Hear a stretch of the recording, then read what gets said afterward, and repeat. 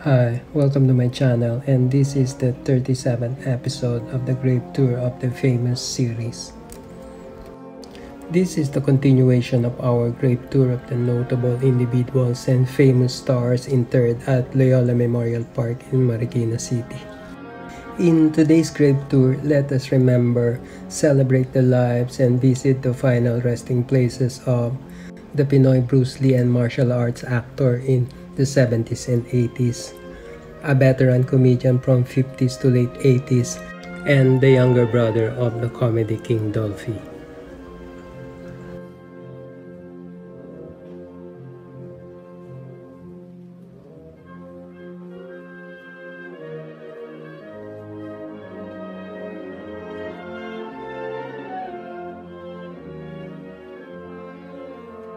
Ramon Arteaga Zamora was born on June 27, 1935 from San Juan Rizal.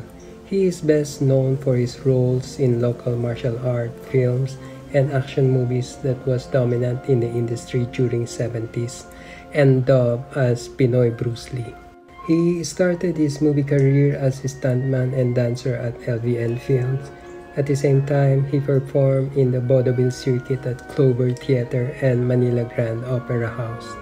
Zamora had 138 films and TV credits as actor, 4 as director, and 1 each as writer and producer from 1956 to 2007.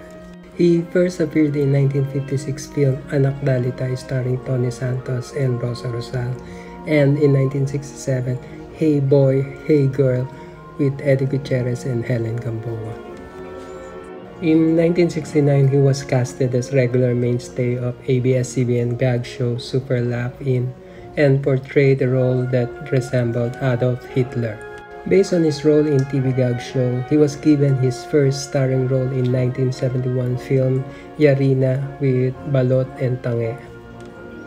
His other film appearances include 1972 The Pig Boss with Vina Morena, 1972 The King Plaster with Jane Laurel, 1973 Barbaro and Genghis Khan with Roberto Gonzalez, 1973 Ang Mahiwagang Daigdig ni Pedro Penduko with Lotis Key and John Young, 1974 The Game of Death with Evangeline Pascual, 1975 They Call Him Mr. Chapsui, an international film with his name Ray Wong Tsa, 1976 Peter Pandesal with Nino Mulak, 1978 Chop Suey met Big Time Papa with Weng Weng. By the 1980s, his movie projects declined and his film appearances returned to support roles. His last film was the 2007 Ataul for Rent starring Joel Torre.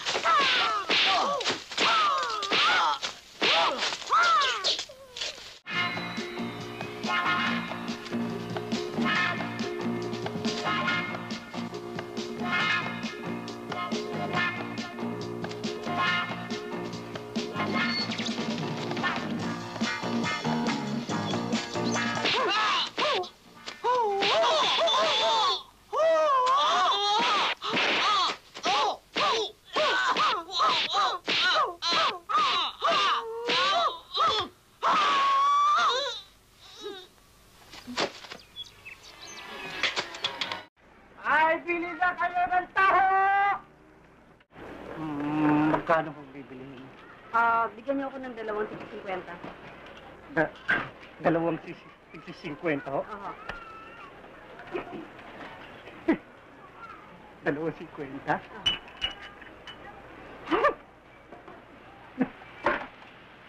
Ngayon lang kasi ako nakakita ng ganyang kaganda. Pasensya na ho.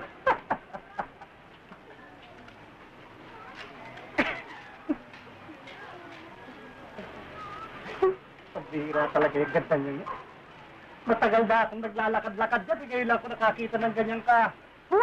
Kayo naman. Ginola niyo pa ako. Hindi, para sa aming mag-asawa.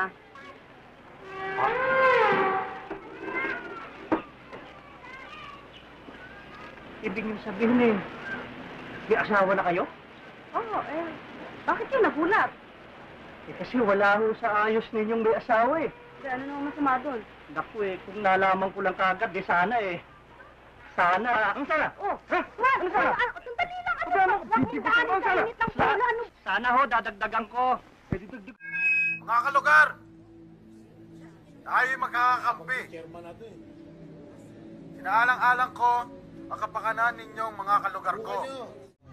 Mga pusher at kung ano-ano pa na mga narya sa loob. Ulit ko, para maiwasan ang gulo o pagtanak ng dugo, isanin ninyo ang inyong tinitirhan sa loob ng labing limang araw. Naririnig niyo ba ako? In 2007, Zamora died as a result of a heart attack.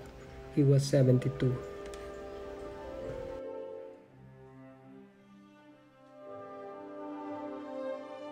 At the northeastern side of the park is where the Quezon Mausoleum is located, where the comedy king Dolphy's parents are interred and his siblings.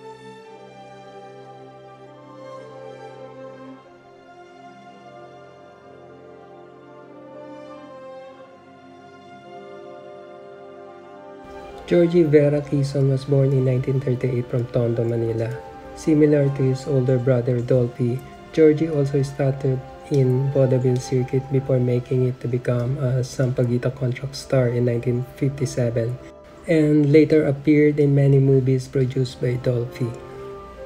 Georgie was an actor who appeared in 82 films from 1957 to 1987. Some of his films appearances include 1957 Ate Barbara with Romeo Vasquez and Barbara Perez, 1957 Princesa Gusgusin with Romeo Vasquez and Susan Roses, 1957 Pretty Boy with Romeo Vasquez and Amalia Fuentes, 1960 Double Trouble with Brother Dolphy, Eddie Gutierrez and Liberty Ilaga, 1964 King with Vilma Santos, 1970 1970 Ricky na Tirso pa with Ricky Belmonte, Tirso Cruz III and Pilar Pilapil. 1981 Starry Ray with Brother Dolphy and his last film appearance 1987 Binibining Superman with Roderick Paulate. Hindi na nila ako pinapansin. Ang bata nito. Ano na naman ba niya? Halika at kwento sa akin. Yung mga kapatid ko. Hindi ko naintindihan. Bakit sila nagkakagano sa iyo?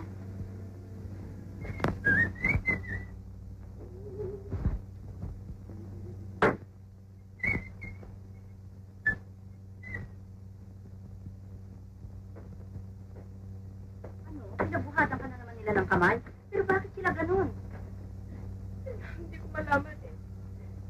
Bakit ako sabi sa inabi ng aking mga ate? Kung gano'n, layasan mo na sila. Sumama ka sa akin magtanan at pakasal na tayo, ha? Eh di, bata-bata pa hindi pag-aasawa na yung pinapasok sa ulo. Ganun wala ka pang trabaho? Kung mama naman, ay siyempre, pwede.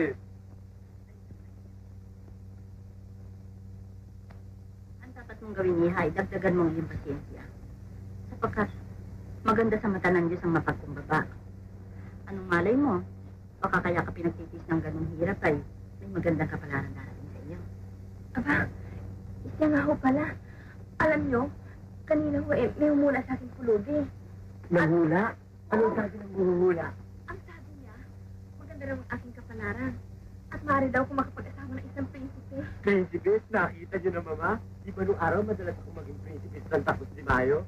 Bagay na bagay talaga tayo, Toyang. Eddie, tumapat ka na naman. Wala sa lugar lahat ang sinasabi mo eh. Mama naman, nagpapakasakali lamang baka may chance eh. Tama ka na. Yeah. Tepay, bakit parang ayaw ako pakainin ni Mama Osang? Ewan ko ba sa dalahira na yan? Nasisira na yata ang ulo. Alam mo ngayon, kamukhang kamukha mo si Robert Taylor. si Elizabeth Taylor. Lalo mo pag-iigihan ngayon, ha? At huwag kang hihimatayin. At pag hihimatayin ka, gandahan mo ang phone. yung medyo sexy ng konti. Hindi na ako himatayin ngayon kasi pinakain mo ako mabuti eh. Dapat naman. Asan si Mama Osang?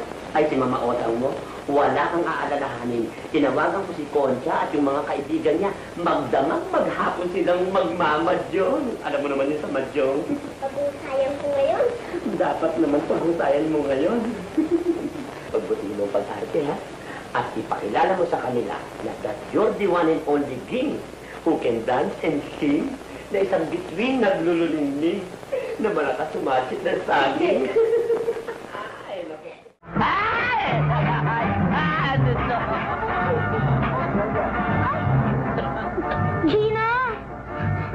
Pasensya ka na ha. Hindi ko sinasadya eh. Ikaw na naman? Ah, malulugi na naman ako nito. Huwag mo na akong tanganan. Bayaran mo ito lahat. Ayan! Madir! Ang ganda-ganda mo na! Teka, tita na lang itawag mo sa akin, ha? Huwag na madin. Tita ano? Tita Che. Tate? Hindi. Tita Che. Oo nga! Tita Che. Oh, na. Nako, Tita Che, talong-talo mo na si John Collins. Naku, manay, huwag mo na eting-eting yan. Madatong yan. Malaki. Eh, magkay-kisera nga, ano? Ano pa? Hindi ah. Naku, Oh, yun, ha? Huwag mo na eting-eting yan. Ayan. Share pa Ayan. yan. Okay din, okay. Hmm. Che! Ay! mo kung sino kasama ko. Uy, ano na? Tita Tilly, ano, kumusta? Long time no see. Ako naman talaga pinahirapan mo ako. Bakit? Saan, saan kita hinanap, hindi kita makita eh. Hmm. Dumaan ako sa bahay mo, wala ka daw. Natayos ako ng buhok. Oo nga, may nagturo sa akin na nandito ka raw sa parlor. In August 1998, Georgie was found dead in front of Camp Crame along EDSA in an apparent hit-and-run accident. He was 60.